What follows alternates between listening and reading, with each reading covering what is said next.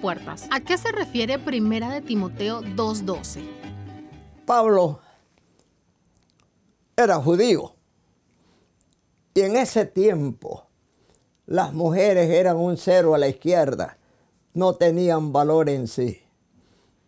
Se reunían los hombres, cantidades de hombres, las mujeres escondidas por allá en los cuartos.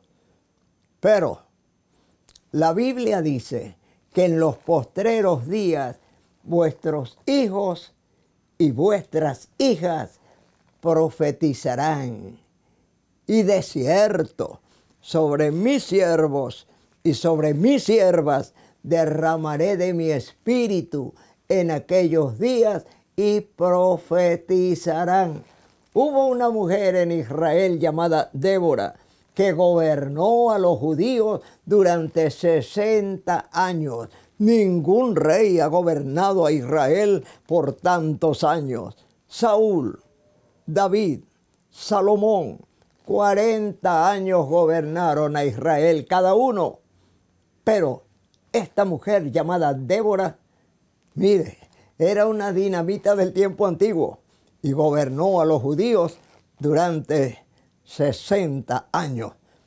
Como buen judío, él era machista, pero Jesucristo no es machista, Jesucristo es justo.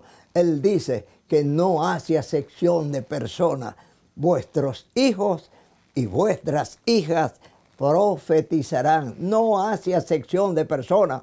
Una mujer samaritana de mala reputación había tenido cinco maridos y estaba viviendo con el número seis. Tuvo un encuentro personal con Jesucristo a mediodía junto al pozo de Jacob y salió encendida con el fuego del Espíritu Santo.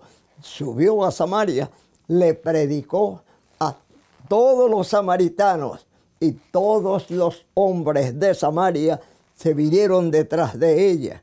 Escucharon a Jesús y a los dos días de predicación le decían, Señor, no te vayas, quédate con nosotros. Y se quedó un día más. Y al cabo de tercer día, el Señor siguió su camino hacia Jerusalén.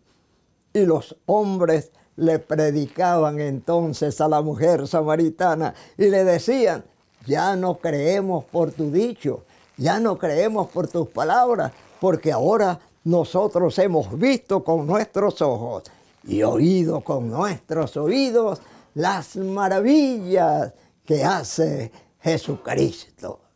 Una mujer los evangelizó, pero Jesucristo confirmó el mensaje de aquella mujer samaritana. Benditas sean las mujeres, usen las mujeres, porque ellas predican mejor que muchos hombres. Yo creo esos pastores que se niegan a que las mujeres prediquen, así como Pablo, es porque tienen celo de cómo Dios usa a esas mujeres.